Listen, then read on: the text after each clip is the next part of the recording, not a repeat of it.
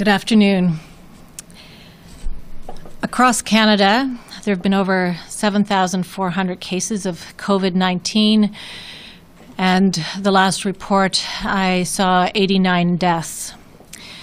In Prince Edward Island today, we have three new positive COVID 19 cases, and this brings our total to 21.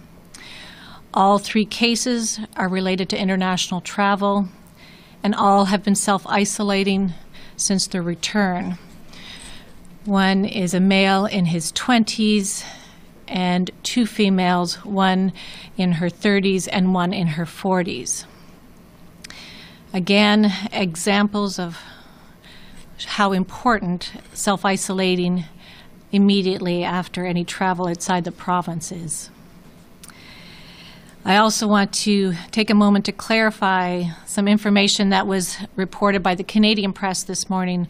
There have been no deaths in our province yet. All our case, all these cases are at home, and we continue to monitor and follow up our cases and contacts um, as we move forward. Close to 800 tests have been done and uh, we are we although some are pending we have uh, a number of those back and we anticipate being able to increase our testing capacity here in Prince Edward Island. It's a reminder that anyone experiencing symptoms related to COVID-19 cough, shortness of breath, fever, fatigue, chills, should call 811 to be screened and, if necessary, tested for COVID 19. And those admitted to a hospital with influenza like illness will also be tested. And in both situations, it's regardless of travel.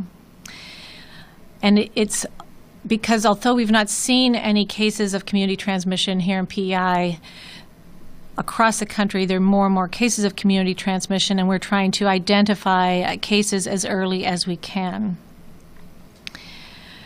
I want to briefly mention um, a question that has come up about the, when someone has COVID 19, whether they should use ibuprofen um, and uh, or acetaminophen, and that guidance has changed, uh, and both are appropriate to use for symptoms uh, for COVID 19. And it's, it's probably worth mentioning just because uh, we get questions about it. There's lots of research going, across, uh, going on across the country and across the world about treatment of COVID 19 and uh, certainly the vaccine research um, world as well. I wanted to follow up uh, yesterday in terms of enforcement. There was uh, and a police officer uh, or and a conservation officer who's helping us with enforcement. Um, issued a written warning, and then this morning, Summerside Police followed up and issued a ticket with a fine. The first offense being $1,000. And this is the first fine issued in Prince Edward Island for not complying with self isolation. And as of last evening, 60 complaints have been received into our office and uh, have resulted in written and verbal warnings for many of those cases. We've seen uh, a lot of traffic, certainly, on our island roads, and it's just a, a, reminder to please stay home as much as possible and go out when it's essential, or if you're an essential worker traveling to and from your place of employment. We've had a number of questions about disinfecting groceries. And for islanders who are not in self isolation, uh, uh, one essential trip out of the house uh, is going to be going for groceries. And one member of the household should be designated to go grocery shopping, and this should be limited. So try not to shop every day. Uh, it's a good idea to bring along disinfecting wipes to clean your shopping cart, not just the handle, but any area that may have come in contact with other shoppers and try to choose items uh, that are wrapped and that can be easily wiped clean with a disinfectant wipe. And when it comes to fruit and vegetables, washing them with soap and water when you get home. Avoid touching your face while shopping and on your route home. And wash your hands or use a hand sanitizer as soon as you get home. Another trip uh, out is for essentials is going for gas, and touching a gas pump is similar to touching other surfaces that could be infected. And it's important you avoid touching your face after touching a, a gas pump, and afterwards, important to wash your hands or use a hand sanitizer. We've been receiving many questions and concerns regarding individuals uh, traveling to Prince Edward Island to summer homes or cottages. And unless your primary residence is on Prince Edward Island, you should uh, consider delaying coming to your cottage in PEI until at least the end of May or until the COVID situation changes. I want to clarify that there should be no faith based gatherings in person in Prince Edward Island. And I, although uh, it's it's difficult, um, we're getting reports of a number of teenagers who are driving around. Um, many in together in cars, um, and this would not be considered essential, and they should stay home as much as possible. I know this is a difficult time for everyone, and I recognize that individuals are looking for ways to brighten spirits and connect and help each other. And there have been so many great examples uh, across the province of doing just this and doing it differently. And we have to balance some of those examples with key principles of staying at home as much as possible and practicing physical and social distancing. This is a time when I I worry we may start to get tired of staying home and tired of being physically uh, distant with each other. Yet, this is just when we need to continue.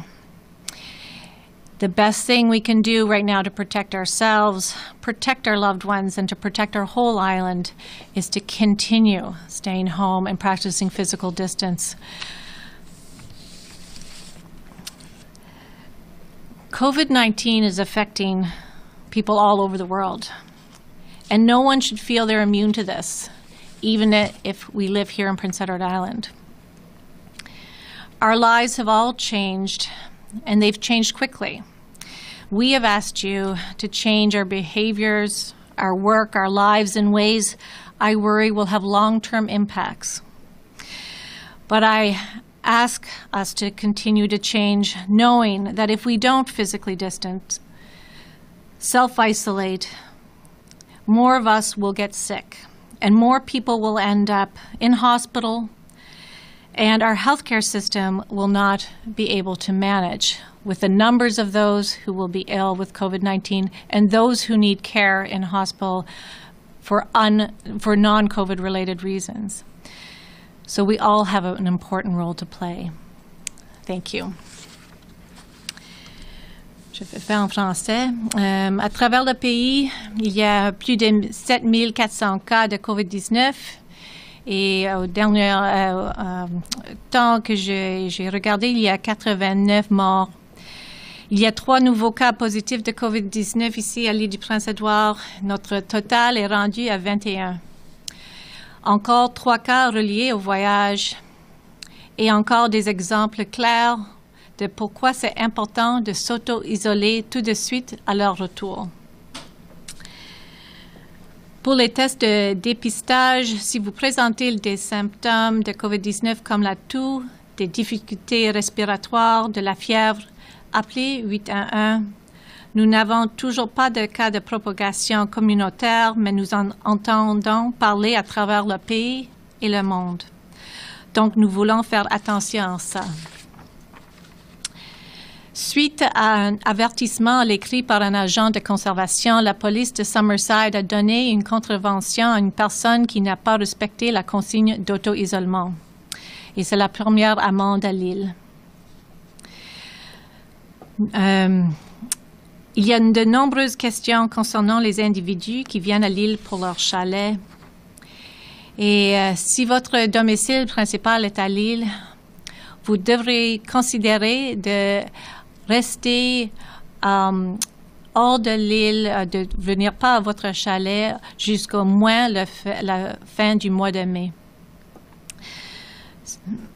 Je vais être plus clair que pour les rassemblements confessionnels ici à Lille en personne.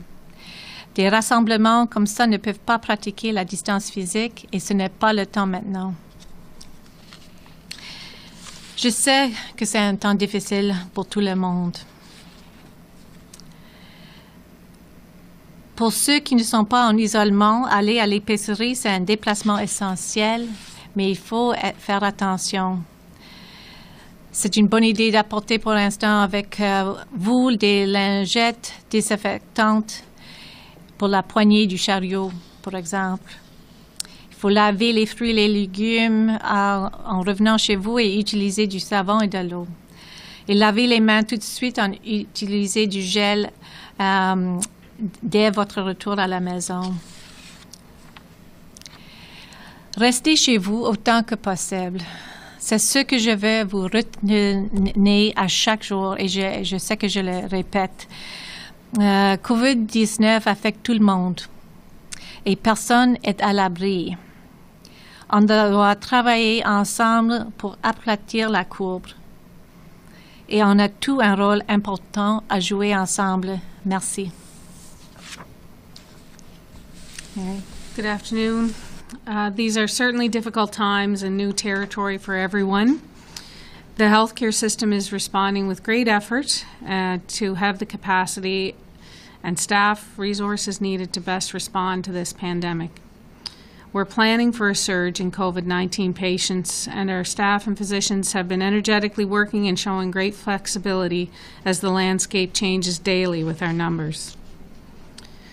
There are issues that we know will continue to be a pressure, and personal protective equipment is a concern. Our team is making great strides in sourcing personal protective equipment from vendors locally and around the world, and at the same time, we know that this equipment is in demand across the world. It is and will remain vitally important to maintain and conserve our supply of personal protective equipment. We have the supplies to meet our immediate need, but using the equipment in the right situation and planning ways to conserve this equipment at every level is a necessity. And we're asking all our staff to take this seriously. The cough and fever clinics at the drive and the drive-through testing clinics are now both up and running in Charlottetown and Summerside. Appointments to the cough and fever clinics are through referral from your family doctor, nurse practitioner, or through 811 for those of you who can't access a family physician. When arriving at the clinics, I just want to reiterate a little bit of what I explained yesterday. Um, individuals are asked to remain in their vehicles until they're notified by the staff at the site, uh, and that's to ensure our proper infection prevention and control measures are taken as they're coming into their appointments at the assessment clinic. Patients who need testing for COVID 19 should continue to call 811 and be screened. Yesterday, 25 people were tested in Charlottetown and five in Summerside. And at the cough and fever clinic, we saw 14 people in Charlottetown and just a small number in Summerside as it only opened in the afternoon.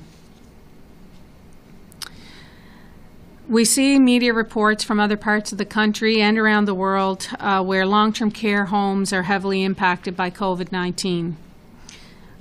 Uh, we're doing everything we can to protect our residents here on Prince Edward Island. Most of our public facilities have individual rooms, but no matter what the living quarters, our staff are trained to look for early recognition of any respiratory illness and quickly isolate individuals at risk. Our long term care staff are trained in the use of isolation and protective equipment, which they're using to keep the virus out of our residences. Anyone who lives in long-term, a long-term care home is closely monitored and will be a priority for testing if any symptoms are identified. Very early on here, under the direction of Dr. Morrison and her team, we closed our facilities to visitors and we have remained with these strict measures in place.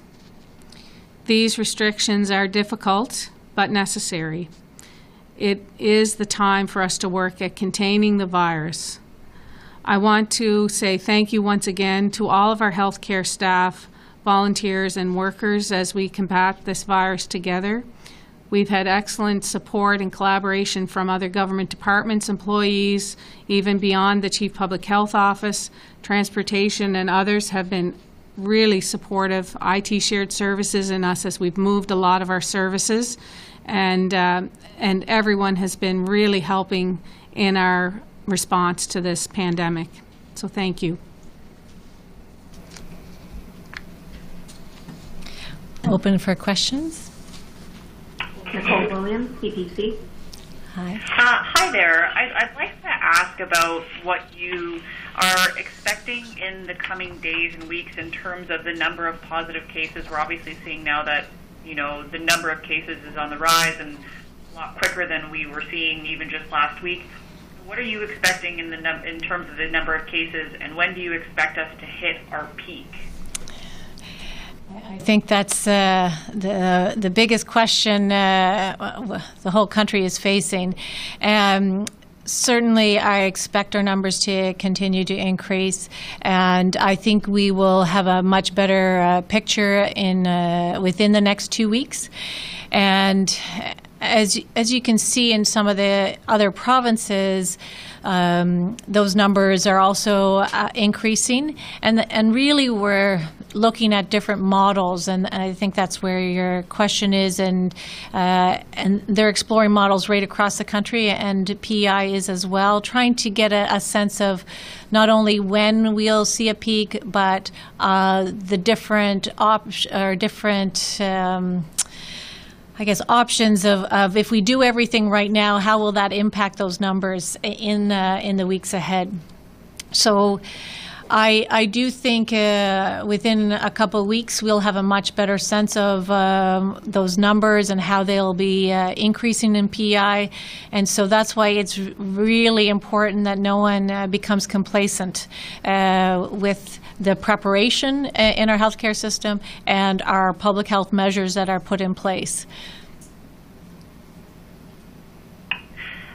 Thank you so much. And I know you mentioned that at this point all of our cases are travel related. Um, but how do we know there's no community transmission yet if we only recently started testing non travelers? Well, we've been testing a lot of international travelers as well who are part of our community. And so we have um, well over 600 tests back that uh, um, they are part of our community and uh, they are negative. So that's certainly part of the picture. Um, as well, uh, even before the cough and fever clinics opened, um, we were testing uh, really sick people who were coming into hospital regardless of, of illness. Um, so anyone who might have been having severe acute respiratory illness, regardless of travel. So that uh, would have been some uh, indication as well in the in the community. And uh, so we just want to continue to expand that uh, and try to get even more people uh, identified early. And um, and so in many ways we're following some of the trends uh, in the other provinces. Um, initially all travel related, and then um, and then the community transmission um, uh, starts to uh, creep in, and uh, so I I'm. I'm, we're looking for it. We expect it, um, but uh, at this point, um, certainly we've done a lot of tests within the last uh, week, even um, that are negative um, for people who are living here in Prince Edward Island. Thank you so much. You. You're welcome. Brittany Spencer, CBC. Hi. Hi, uh, my question is for Marion Dowling, uh, and it has to do with supplies. The province is running a request for supplies for COVID 19. Could you just explain to me how that's working, um, sort of what you're looking for? Are you looking for community donations to purchase equipment, or is it a combination of both? Uh, Hi, um, I think we're trying to have a coordinated approach to what supplies might be out there. Over the last number of weeks, we've had uh, several groups or individuals um, contact us to say they had potential access to supplies or some supplies um, available to them. And then there is a process to make sure that those supplies, if they're masks, for example, do comply with our standards for healthcare workers. So this is really an effort to try and coordinate some of that and have a, a central access point for people to look at that and identify if there are supplies that we can use. And in the meantime, we've uh, certainly been accessing any of those other avenues that have, for individuals that have come forward or groups, to see if we could um, get supplies through through those contacts. Okay, and a follow-up question to that uh, would be, you mentioned the importance of having to conserve the supply that you do have, um, and you know, with this request out there for more supplies moving forward, um, does this mean there aren't currently currently enough for what you're expecting as as uh, the number of cases rise, um, and how what are the what are some things the hospital is doing differently to try and conserve the supplies you do have? Um, okay, good question. I think there's a number of things there. One piece is we we don't really know, and we really want to uh, encourage everyone to comply with the orders through the Chief Public Health Office to stay home and physical distance, social distance, and help us not have in, increased cases or any community spread. But we're, of course, planning for um, what may come based on what's happened in other jurisdictions. We do currently have supplies in place, but as I've been mentioning over the last number of weeks, we've been placed on allocation because of the demand across the country and the world for these supplies from our vendors and our suppliers. So we may only be receiving a portion of our regular orders um, as other places are in need. So we've been looking at various options. Um, and one of the tacks we have taken is looking at just the drive through clinic option. And that's a way to conserve this equipment because when people come in and through, we don't have to have our staff change all their personal protective equipment every time for every patient. So they can use the same equipment for multiple patients when they're doing it in that safe way. So there's been a number of things like that, looking at um, our past practices for other infection prevention and control measures. Um, even reducing to essential services helps us conserve our supply when we're not running the same number of operating rooms and the same number of cases. And along with that, those those decisions are, are difficult and challenging for the providers who know people have been waiting for some of those services. So there's really a multitude of things that have been happening around how we're planning to conserve those supplies. Um, and we do need everybody's support across the health system to make sure they're being used appropriately. We've followed the guidance of the Public Health Agency of Canada, who I know is following the World Health Organization's guidance on the appropriate use of personal protective equipment, and that's what we want to be able to provide for our staff. Okay, thank you very much. Thanks. Stu Neatby, The Guardian. Hi, good afternoon to you both. Um, a question for Ms. Dowling. Um, you, you've explained, I guess, uh, yesterday about the three sources for purchasing uh, ventilators for the province the uh, National Emergency Strategic Stockpile, the federal bulk, bulk purchasing, and, and, I guess a provincial order. Uh, which of these three orders do you expect to arrive first, and what's the time, the expected timeline on that? Okay, hi. Um, yeah, I, what we're expecting to arrive first is the some of the ventilators through the National Emergency Strategic Stockpile, and we are anticipating they'll be here uh, within the next week or so in the province. Second to that is probably the uh, local order that we've done through our vendor, but I can't really say if that will come before or after the federal purchasing because there's lots of work happening around that federal purchase, um, and we haven't gotten a confirmed date of when those would be delivered. So I'm unsure as to which one of those would happen first, but we're anticipating our local order, which was for the 12, uh, to come uh, the late spring, so within the next month or so. Um, but we haven't got the confirmed date on the federal purchase. Okay, thank you. And, and just to follow up uh, uh, for Ms. Morrison, I wonder if you could give an update on uh, the establishment of a local uh, testing lab um, and when Islanders might uh, expect to see it up and running. So, uh, hello, Stu. So the local testing. So it's not a new lab, it's actually our provincial laboratory that uh, is going to be able to do start doing our our testing here in Prince Edward Island for COVID nineteen, and we anticipate that being up and ready to go on Thursday for in a limited capacity. So really focusing on a quick turnaround uh, for uh, long-term care situations, certain critical healthcare workers, um, and uh, because they'll only be able to do so many, but they'll really help us, and especially on the weekends uh, where we've had to, um, you know, send uh, our samples off to Winnipeg uh, to the National Microbiology Lab. So the the National Microbiology Lab will continue to support us, um, even with our enhanced um, PEI capacity, and then within the next one to two weeks, we'll have um, further equipment in for the provincial lab, um, which will hopefully mean we'll be able to do all of it uh, here. So uh, certainly, um, it's uh, very promising, and um, um, we're we're very pleased that that's uh, happening uh, so uh, so quickly. Thank you. You're welcome. Sean McDougall, Eastern Graphic. Good afternoon, everyone. Um, this question is for Dr. Morrison. Um, yesterday, the Prime Minister said that uh, the armed forces have been preparing over the past couple of weeks to help communities in any capacity uh, across the country. So I'm just wondering, is anyone in the Chief Public Health Office or the province discussing using the armed forces in some way?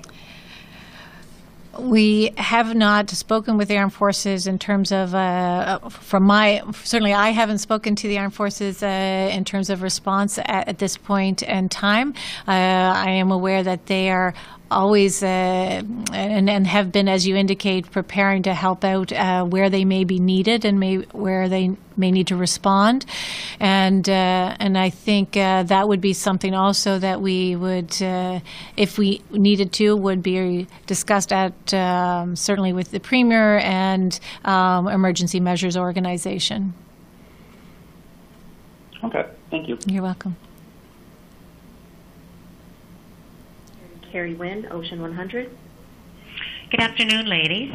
Um, Heather, a couple of questions about um, the new cases. So we had seven yesterday, three more new cases today. Mm-hmm. They're all travel related. Do we have the details on um, their their flight, the number, Mm-hmm. and which airports uh, they come into? And I know a lot of people are looking for a breakdown of where the new cases are uh, per county on the island, but you know, do we have that, or does it even really matter that people have that information? Well, I think the flight information, as soon as we get it, I know there was flight information updated, I believe, at the end of the day yesterday, and uh, the three new cases. Um, uh, we just spoke to them this morning, so those details are, will be uh, available as soon as we can, and then they will be. We've made a decision not only to submit those nationally uh, through the Public Health Agency, but to post them uh, ourselves. So we'll continue to do that.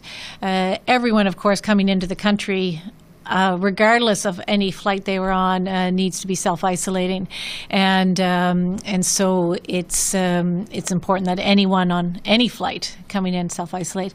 So we'll continue to do that. And in terms of the county, um, certainly uh, happy to uh, provide that. Uh, I, I don't have it in front of me, Carolyn, but uh, we can do that. We're hoping also to be able to put. Um, working with our provincial epidemiologist to to put a a little summary, almost like we do for influenza summary on the on our website, and have our own PEI COVID uh, summary, so that we could uh, have our own graph there with the cases and some of that breakdown. So we're just looking at um, finalizing those details, but uh, we can make the counties available um, afterwards to you if you'd like. And also with um, uh, your statement earlier that um, you're recommending, you know, to those uh, seasonal visitors that may have property here, consider consider delaying coming until uh, the cottage and not until the end of, of May.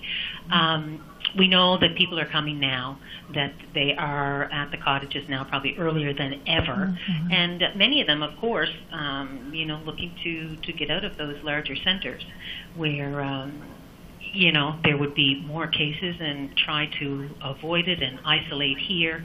Um, but does the wording need to be stronger than that, Heather, as to consider delaying? And because does it put um, a greater risk of bringing the virus in, and also uh, a much uh, bigger load on our healthcare system here when when uh, this is what's happening? Well, and Carrie, when I think uh, we, I tried to address this yesterday. So, a couple of parts to your question. One, all our cases to date have been people who are islanders. Um, they are residents, and so um, I am equally concerned about our islanders not uh, following self isolation upon the return, as I am about any any visitors. So it's it's a both. Um, that uh, it's very important for anyone in PEI um, to uh, anyone coming to PEI to self isolate, um, and we need to know where our cases uh, and our cases to date have not been in anyone uh, coming to Prince Edward Island. Um, from who aren't uh, aren't residents uh, here in that sense. So. Uh, the other thing that's happened, and I know we've talked about it yesterday and the last couple of days, we are taking a lot more detailed information at the um, at our points of entry about not only why they're here, if they have to be here, and uh, um, but and where they're going to stay, but do they have supports to self isolate? And I think that's really key. Um, and we're hoping that we can provide um, some further breakdown of uh, details of how many people actually are coming um, that uh, do not need to be here because certainly uh, by far the majority of uh, our islanders that are coming across the bridge are because they're returning from medical appointments uh, that they've had to have off island. Um, they are they live here and are needing to come home. Uh, they're essential uh, service workers, uh, healthcare workers, for instance, that may live somewhere else and they're coming across. So um, we may need to uh, change that language, Carrie Wynn, but uh, it is consistent. Other places have also asked their cottagers uh, to not go to their cottages, wherever that may be in their other provinces, and we're asking the same here uh, to delay uh, that. Thanks, Heather. Great, thank you. Laurent Rigaud, La Voix acadienne. Oui, bonjour, docteur Morrison. Euh, il y a quelques jours, euh, le ministre, euh, enfin, Affaires mondiales Canada a signalé qu'il y avait des milliers de Canadiens qui sont en ce moment encore bloqués à l'étranger. Euh, tous nos cas à Lille sont des gens qui reviennent de voyage. Est-ce que le gouvernement fédéral vous a donné le nombre d'insulaires euh, qui sont actuellement à l'étranger et qui cherchent à revenir? Non, euh, je n'ai pas un nombre du gouvernement fédéral. And I'll just uh, repeat the question in French um, that uh, I was asked if I know the number of islanders who are still outside the country who are trying to get home. Et juste, enfin, est-ce que c'est une information qui serait susceptible de vous aider pour euh, euh, justement aplatir la courbe et euh, veiller à ce que le nombre de cas à Lille n'augmente pas de manière exponentielle? Euh, J'ai compris la, dernière partie. Est-ce que vous pouvez répéter la question? Oui, est-ce que c'est une information qui vous serait utile pour aplatir la courbe et euh, éviter que l'épidémie ne se propage trop vite à l'île du Prince-Édouard Euh, Je pense pas que le nombre d'insulaires qui sont hors du pays euh, à un moment va tellement changer. Qu'est-ce qu'on fait ici? On, vient d'avoir la, la, majorité des insulaires qui viennent de retourner et qui viennent d'autres provinces. Alors, c'est tellement important qu'ils s'auto-isoler euh, et euh, s'auto-isolement, euh, c'est sûr, mais le nombre d'insulaires qui sont encore hors du hors pays, on va les les voir quand ils retournent et vraiment enforcer le auto- l'importance de s'auto-isoler quand il revient. Merci. Julien Le Cacheur, Radio-Canada. Bonjour. Oui, bonjour, docteur Morrison. Euh, je voudrais vous poser une question concernant le pont de la Confédération et les contrôles qui sont effectués sur place. Euh, pour y avoir été ce matin, au début, il y avait beaucoup de, véhicules qui tentaient de rentrer. Aujourd'hui, le trafic des voitures est proche de zéro. Euh, Pouvez-vous nous parler de, de ces contrôles aujourd'hui avec la sécurité routière? Quelles sont les questions exactes qui sont posées? Et si jamais une personne ne répond pas euh, aux critères, vous le renvoyez automatiquement au Nouveau-Brunswick? Euh, alors oui, je, je suis d'accord. J'entends aussi euh, qu'il y a moins de euh, moins de voitures qui viennent sur le pont. Euh, mais les questions et demandes sont à propos euh, en premier du santé. Euh, est-ce que vous avez une fièvre? Est-ce que vous toussez? Est-ce que vous sentez bien? Et en premier, mais c'est aussi le nom, le numéro de contact, le, les questions. C'est quoi la raison de votre visite? Euh, Vous venez euh, d'une autre province ou hors du pays? Euh, il demande euh, euh, où vous restez ici, euh, si vous allez chez vous ou euh, et si vous ne restez pas chez vous, c'est où? Et euh, c'est qui le euh, c'est quoi le nom du contact qui vont t'aider à s'auto-isoler? Parce que vous pouvez pas aller pour chercher n'importe quoi. Alors il faut aller directement là, mais il faut avoir les supports pour vous aider. Alors c'est des euh, questions. euh, euh, comme ça. Et euh, il même sorte de choses à l'aéroport. Les mêmes questions. Et ils ont les, les gens qui nous aident avec le Highway Safety qui sont là. Et, et à ce moment, le- vraiment, les gens qu'on voit euh, entrer à l'île sont euh, les, gens qui doivent rentrer. euh, on on a toutes sortes d'exemples qui peut-être ils doivent sont, euh, il y a un, euh, un, un animal qui doit aller au collège vétérinaire pour une euh, chirurgie qui est essentielle. Alors il vient euh, il y a un cas où quelqu'un doit a dû euh, venir pour chercher euh, sa femme. Euh, Alors c'est vraiment des choses qu'il doit pour une bonne raison pour venir. Il y en a quelques un, très nombre petit que qu'on a dit que c'est pas, euh, euh, je pense pas que c'est une bonne raison pour visite et puis ils ont tourné et puis ils sont partis.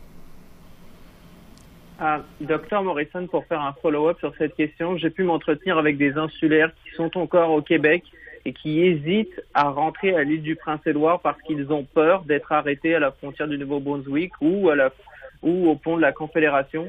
Qu'est-ce que vous avez à, à dire à ces insulaires qui sont encore au Québec et qui doivent rentrer à l'île du Prince-Édouard? Est-ce que vous pouvez juste les rassurer, leur dire oui, bien sûr, vous pouvez rentrer chez vous? Um, e- Est-ce qu'ils habitent ici? Oui, ils sont résidents de l'île du Euh, Prince-Édouard. s- S'ils sont résidents du euh, l'île du Prince-Édouard, ils peuvent euh, retourner pour euh, à, à leur résidence ici s'ils sont en résidence.